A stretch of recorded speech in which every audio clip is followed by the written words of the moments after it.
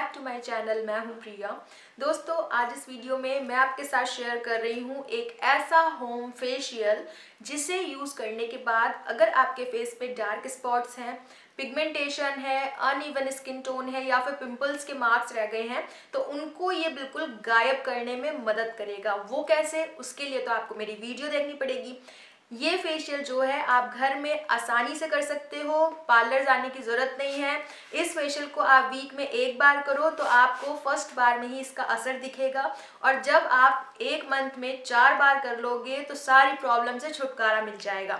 तो इस फेशियल को कैसे करोगे? साथ ही कुछ ऐसे स्टेप्स में बताऊँगी, जिनको आपको ठीक से करना है, जिससे आप इसका पूरा फ़ायदा ले सको। तो उसके लिए आप मेरी वीडियो देख लो पूरी, सही से।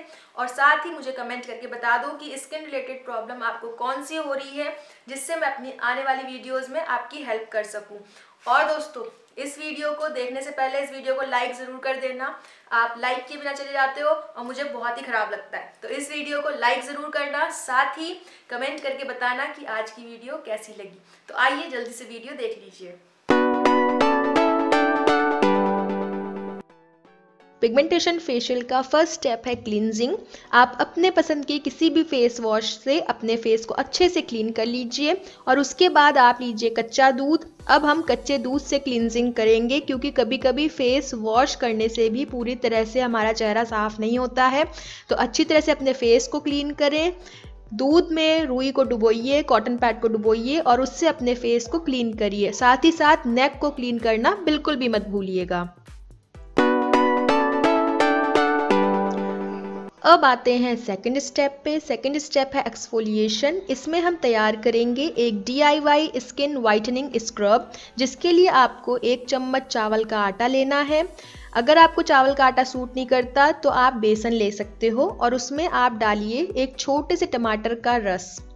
फिर आप इसमें डालेंगे आधा चम्मच मलाई फ्रेश मलाई डालेंगे। अगर आपकी स्किन नॉर्मल है या फिर ड्राई है, ऑयली स्किन वाले मलाई ना डालें। इसकी जगह आप दही या फिर दूध का यूज़ भी कर सकते हो।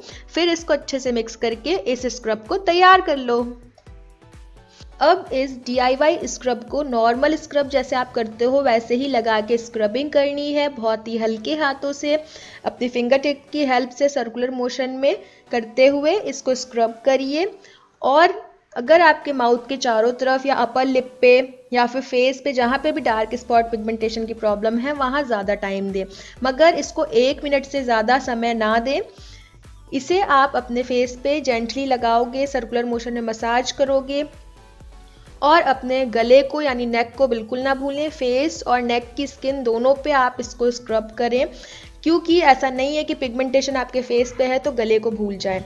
नेक की भी स्क्रबिंग ज़रूरी होती है, जिससे आपका फेस और नेक एक स्किन का लगे। इस स्क्रब को बनाने के लिए मैंने चावल ऐड किया है इसमें, यानी कि राइस फ्लावर इसमें स्किन वाइटनिंग प्रॉपर्टीज़ होती हैं, जो कि दाग धब्बों को मिटाने में बहुत ज़्यादा हेल्प करती हैं। रिमूव करती हैं डार्क स्पॉट्स को, साथ ही इसमें टमाटर यूज़ किया है। इसमें भरपूर मात्रा में एंटी और विटामिन सी होता है, जो कि पिगमेंटेशन को रिमूव करने में मदद करता है।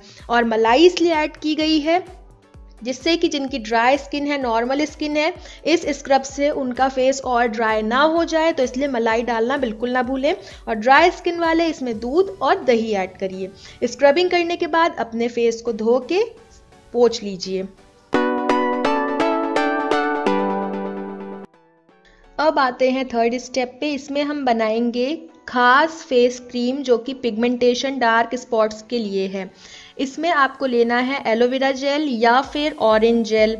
मैं रिकमेंड करूँगी, आप ऑरेंज जेल लीजिए। ऑरेंज जेल ज़्यादा अच्छा होता है पिगमेंटेशन और डार्क स्पॉट्स को रिमूव करने के लिए। ऑरेंज जेल आप मार्केट से ले सकते हो या फिर ऑनलाइन परचेज कर सकते हो। जिस ब्रांड का मैं यूज़ कर रही हूँ, उसका लिंक मैंने नीचे डिस्क्रिप्शन बॉक्स में दिया है तो चेक कर लीजिएगा। अब इसमें मैं ऐड करूँगी टर्मरिक असेंशियल ऑयल यानी हल्दी का असेंशियल ऑयल ये बहुत ज़्यादा फ़ायदेमंद है फेस को ग्लोइंग फेस क्लीन फेस बनाने के लिए। तो इसकी तीन से चार ड्रॉप मैं ऐड करूँगी। अगर आप चाहो एसेंशियल ऑयल नहीं यूज़ करना है तो आप यूज़ कर सकते हो वन पिंच हल्दी पाउडर हल्दी पाउडर डाल के इसको मिक्स करो अच्छे से और बस आपकी ये फेस क्रीम तैयार है पिगमेंटेशन डार्क स्पॉट्स को रिमूव करने के लिए। तो प्रोडक्ट लिंक मैंने नीचे दिए हैं, उनको चेक करना बिल्कुल ना भूलिएगा। क्रीम को हमने बना लिया है, आप चाहे तो इसको स्टोर करके रख सकते हैं। इसमें से खुशबू बहुत ही ज़्यादा अच्छी आती है असेंशियल ऑयल जो हमने इसमें डाला है। अब मैं इसको अपने फेस पे लगा लूँगी और अब मैं आपको दिखाऊँगी कुछ फेशियल स्टेप्स मसाज करने के, जो कि बहुत ज़्यादा आसान होते हैं और फ़ायदा देते हैं हमारे फेस को ग्लोइंग फेस बनाने के लिए। हमेशा जब भी मसाज करें अपवर्ड डायरेक्शन में करें, अपने चीक्स पे यानी ऊपर की तरफ़ हाथ ले जाते हुए और अपर लिप और लोअर लिप के नीचे आपको इस तरह से मसाज करनी होती है। तो अपवर्ड डायरेक्शन में आपको मसाज करनी होती है इस तरह से। इसके कुछ स्टेप्स होते हैं। इस तरह से आप अपने फिंगर को फोल्ड करके इनको भी अपवर्ड डायरेक्शन में सर्कुलर मोशन में मसाज करिए। तो ऐसा करने से हमारे फेस पे ब्लड सर्कुलेशन तेज़ हो जाता है और हमारे फेस पे एक ग्लो आता है और पिगमेंटेशन डार्क स्पॉट्स भी धीमे धीमे रिमूव होने लगते हैं। तो जो स्टेप्स मैं आपको दिखा रही हूँ, उसी तरह से आपको फॉलो करना है। अगर आप चाहते हो मैं फेशियल मसाज की डिटेल वीडियो बनाऊँ, जिसमें मैं सारे स्टेप्स आपको दिखाऊँ तो कमेंट करके ज़रूर बताइएगा। और फिर अपने फेस को इस तरह से टैप टैप ज़रूर करें और अपने नेक पे भी मसाज करना ना भूलें। यहाँ पे भी आपको अपवर्ड डायरेक्शन में मसाज करनी होती है। मसाज में ज़्यादा टाइम दें जब भी आप फेशियल कर रहे हो। कम से कम 10 मिनट तो ज़रूर करें अपने फेस पे मसाजिंग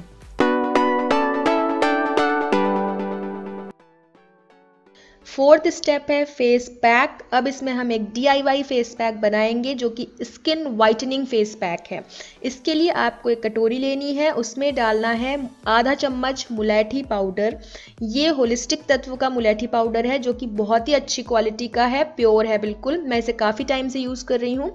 इसके बाद आप इसमें डालिए आधा चम्मच orange peel powder.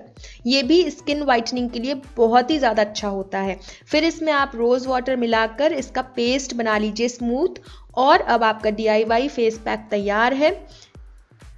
Face pack बनाने के बाद जैसे आप फेस पैक लगाते हो, वैसे अपने फेस और नेक पे इस फेस पैक को अप्लाई कर लो और जब ये सूख जाएगा पूरी तरह तो पानी से धो के इसको साफ़ कर लो।